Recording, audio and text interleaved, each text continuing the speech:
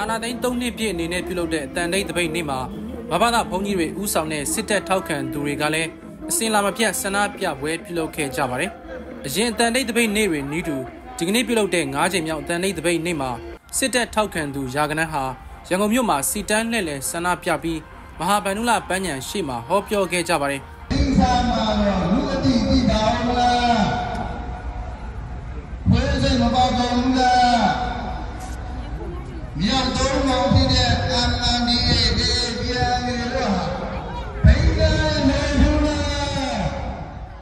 ရှေ့လတွေကတည်းကနိုင်ငံတော်ဝန်ပြုလုပ်နေခဲ့တဲ့ဗုဒ္ဓဘာသာဇေဒီတစုဖျက်ဆီးခံရမှုအပေါ်ဆန့်ကျင်ကန့်ကွက်တဲ့ခေါင်းစဉ်နဲ့ပဲဒီကနေ့အတန်နှိတ်တပိတ်နေ့မှာလဲဆန္ဒပြကြတာပါ။နမဲကျော်မွတ်စလင်မုန်တီရဲ့ဥဆောင်လှုပ်ရှားခဲ့သူမဘာသာဖုန်ကြီးဥဝိရာသူက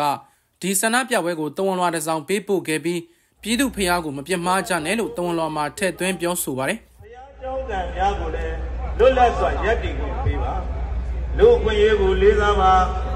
ပြည်သူအများစုကိုးကွယ်တာကိုတန်ဖိုးထားပါပြည်သူဗုဒ္ဓပြည်သူဘုရားကိုမပြစ်မှားကြပါနဲ့နိုင်ငံတကာနိုင်ငံရေးနိုင်ဝင်းဝင်း policy ကိုကျင့်သုံးကြ၏ဥဆောင်ဟောပြောသူတွေထဲမှာစစ်တပ်ကြောတော့နောက်ခံပြောင်စုကြံ့ခိုင်ရေးနဲ့ဖွံ့ဖြိုးရေးပါတီမှလွှတ်တော်မဟောင်ဘူးလက်လှဆွေမျိုးသားရေးဆွန်ရောက်တက်ကြွလှုပ်ရှားသူဦးဝင်းကိုကိုလက်တို့ပါဝင်ပါတယ်အဲ့တော့ရှမ်းမြောက်ကဒီနယ်မြေတွေကို ဒီတိုက်ပြန်ထားမလားပြန်တိုက်မလားပြန်တိုက်ယူတဲ့အခါဒီလောက်ကိုင်းပြန်ရရင်အဲ့ဒီနမ်ခင်းမင်းလို့ခေါ်တဲ့20 2202တောင်ထိပ်ပေါ်က9000ပြည်ဖျားကိုကျွန်တော်တို့ပြန်တင်မယ်ဒီတကပြန်တင်ရင်78တောင်ပြန်တင်မယ်နှစ်ဆခရားရဲ့ခရားရဲ့နမတော်ကိုလည်းမာရဝိဇယအောင်သေးဒီလို့မနက်ကိုအောင်တဲ့အထိတ်မှနဲ့ မာရဝိဇယအောင်သေးဒီဆိုပြီးတော့နာမည်ပေးမယ်သဘောတူလား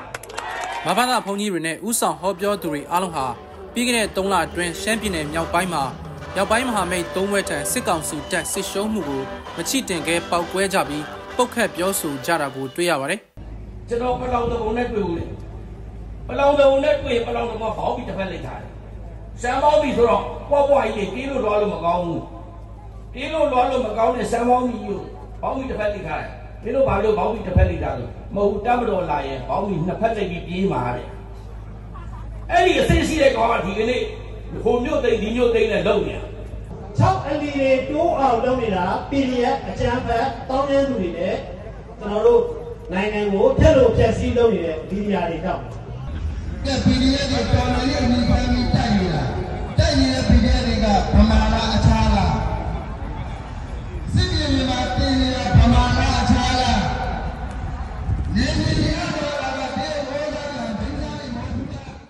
ရန်ကုန်မြို့ရှိစစ်တပ်ထောက်ခံပွဲကိုစစ်ကောင်စီတပ်သားများပြလုံခြုံရေးယူပေးထားတယ်လို့ဒေသခံတွေစီကသိရပါတယ်။တစ်ဖက်မှာရန်ကုန်မန္တလေးနဲ့နေပြည်တော်ပါဝင်နိုင်ငံတော်ကမြို့ရွာတွေမှာ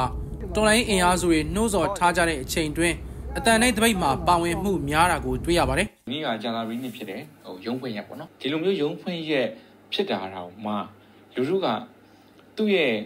ပုံမှန်လှုပ်ရှားတောလာနေမှုနော်လောက်ကင်နေမှုမှမှန်သမျှကိုရက်တက်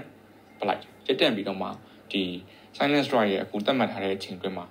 အားကောင်းကောင်းနဲ့ပါဝင်နေတာကိုကျွန်တော်တို့တွေ့ရတယ်ဆိုတော့ဒါတော်တော်မလွယ်ကူတဲ့ကိစ္စဖြစ်တယ်ပေါ့နော်၃နှစ်တာကာလာတီရောက်လာတဲ့အခါမှာလူတွေရဲ့ဒီကြက်တဲမှုအနေအထားတွေကြောင့်နေ့စဉ်နော်စားဝတ်နေကြီးရရုံးကန်လှူရှားနေရတဲ့ဒီမျိုးပြတွေရဲ့နော်တဲ့ပုံစံတွေနော်ဒါဒီလိုချိန်တွေကဟိုဒီလိုရုံးကန်နေလေးရှိတဲ့အချိန်ဖြစ်ပါတယ်ဒါကိုလူလူက ရက်တံပြပြပလိုက်တယ်ရက်တံပြပြီးတော့မှလူလူရဲ့ဒါအတန်သိမ့်သပိတ်နဲ့အာနာဖီဆန်မှု၃နှစ်ပြည့်မှာထပ်မံပြီးတော့ရဲဝံပါဝင်ပြသတယ်လို့ကျွန်တော်တို့ပြောချင်ပါတယ်အာနာသိမ့်မှု၃နှစ်တာအတွင်း၅ချိန်မြောက်ဖြစ်တဲ့ဒီကနေ့အတန်တိန်တပိတ်မှာစေအုပ်စုကိုလေရင်စီရောင်းချတည်ယူပေးနေတဲ့နိုင်ငံတွေနဲ့အဖွဲ့အစည်းတွေရပ်တန့်ကြဖို့နိုင်ငံတကာရောက်မြန်မာတွေစီကအတင်းကျပ်ကောက်ခံနေတဲ့အခွန်အခတွေမပေးဆောင်ကြဖို့နဲ့စစ်ကောင်စီတပ်သားတွေလမ်းဖြူထောင်ကတော်လိုင်းရေးဘက်ကူးပြောင်းကြဖို့သတင်းစကားပါထားကြပါတယ် အတန်တိတ်တပိတ်ပြုလုပ်တဲ့အချိန်တိုင်းမှာစစ်ကောင်စီရဲ့အုပ်ချုပ်ရေးအဖွဲ့ဝင်တွေကတပိတ်အထမမြောက်အောင်ဆိုင်ရှင်တွေကိုဖိအားပေးလက်မှတ်ထိုးခိုင်းတယ်လို့စစ်တပ် lobby Telegram channel တွေမှာလည်းဒီကနေ့ပိတ်တဲ့ဆိုင်တွေကိုအရေးယူဖို့ဖော်ပြပေးနေကြတာတွေ့ရပါတယ်။စစ်တပ်အာဏာသိမ်းမှု၃နှစ်မြောက်အနေနဲ့ရန်ကုန်မြို့ကလူငယ်တွေကရန်ကုန်မြို့ area ပေါ်မှာလက်သုံးချောင်းပုံဖော်ပြီးလမ်းလျှောက်ခြင်းနဲ့စပိန်စီးခြင်းတို့ကိုပြုလုပ်တဲ့ GPS strike ကိုလည်းပြုလုပ်ခဲ့ကြတာကိုတွေ့ရပါတယ်ရန်ကုန်တိုင်းလှိုင်မြို့နယ်မှာတော့ ဒီကနေ့နေ့နက်မှာစစ်ကောင်စီလက်အောက်ခံအုပ်ချုပ်ရေးအဖွဲ့တွေကနေကင်းကြောင်တောင်အဲဇင်းလိုက်စစ်နေတယ်လို့သိရပါဗျ။မြမပြည်ထပ်ပိုင်းမုံရွာနဲ့မန္တလေးမြို့တို့မှာလည်းအတန်းနဲ့တပိတ်ဆင်နွှဲတဲ့အနေနဲ့လမ်းမထက်လူသူကင်းရှင်းနေတာကိုတွေ့ရပါတယ်။စကိုင်းတိုင်းမြို့တော်မုံရွာမှာပုံမှန်လူစီကားတဲ့ပြည်အောင်စုလမ်းဗိုလ်ချုပ်လမ်းနဲ့ချင်းတွင်းရတနာဈေးတို့မှာဒီကနေ့လူရှင်းနေတယ်လို့မုံရွာလူလူတပိတ်တိုက်ပွဲဥဆောင်ကော်မတီဝင်ကိုခန့်ဝေဖြိုးကပြောပါတယ်။တက်တော်တီဖီအားပေးတဲ့ကြားတွေကအာဒီတချို့တိုင်တွေကတော့တိတ်ထားတာကိုတွေ့ရတယ်ဗျာဟုတ် အာဒီ finance side မတိုင်ရင်နေကြတယ်တက်တက်တာပေါ့နော်ဒီသူတို့ဒီ finance side ကိုတောင်းရင်ဒီနေ့ကနေ့ဒီပြည်ကြီးမှာနော်ဒီတိုင်တိုင်မှုတွေပိတ်သိမ်းနေလို့အဲသူတို့ဒီချင်းချောင်းတဲ့ကြားကနေပြီးပြည်သူလူထုကအတူချိန်ပြီးပေါ့နော်ဒီအာနာသိန်းတာပုံနဲ့ပြည်ရပြီးအဲအခုလိုကြရဲကုန်းကပါလာတွေ့တဲ့အတွက်ပေါ့နော်ဒါပြည်သူလူထုရဲ့ဒီစစ်အာဏာရှင်စနစ်ပေါ်ဘယ်လောက်ထိဆွရှာမုန်းကြီးနေလဲဆိုတာကဒီဒီနေ့ကတက်ပြီးတော့တက်တည်ကြလိုက်တာလို့ပဲပြောလို့မြင်ပါတယ်ဗျာစစ်တပ် lobby telegram channel တွေမှာတော့ မန္တလေးမြို့ကဒီကနေ့ပိတ်ထားတဲ့ဈေးဆိုင်တချို့ကိုအရေးယူဖို့ဖော်ပြနေကြပါတယ်ဒါပေမဲ့စစ်ကောင်စီရုံးဆိုင်ရာနေပြည်တော်မှာတော့လူစီကားရနေရာတွေမှာပုံမှန်မပြတ်သွာလာလှုပ်ရှားမှုရှိတာကိုတွေ့ရပါတယ်နေပြည်တော်ရှိအထင်ကရဈေးတွေဖြစ်တဲ့အဟာဒုက္ခဈေးတပြေကုန်းဈေးပြည်မနာမြို့မဈေးပုပ္ပသေးရိဈေးနဲ့တပြေကုန်းဝိုင်းပြည်မနာတောင်ညိုလမ်းမပြည်မနာမြို့ရှိဗိုလ်ချုပ်လမ်းတို့မှာပုံမှန်အတိုင်းရှိနေပြီးနေပြည်တော်ကအခြားလမ်းမကြီးတွေမှာတော့လူသွားလူလာနေပါတယ်လမ်းမတွေပေါ်မှာလူသူကင်းရှင်းနေအောင်အတန်တိတ်တဲ့နီးနဲ့ စစ်တပ်အာဏာသိမ်းမှုကိုစန့်ကျင်တဲ့တပိတ်မှောက်မှုကို2021ခုနှစ်မတ်လ24ရက်ကမ္ဘာလူခွင့်ရေးနေ့ဒီဇင်ဘာ10ရက်အာဏာသိမ်းတစ်နှစ်ပြည့်2022ခုနှစ်ဖေဖော်ဝါရီ1ရက်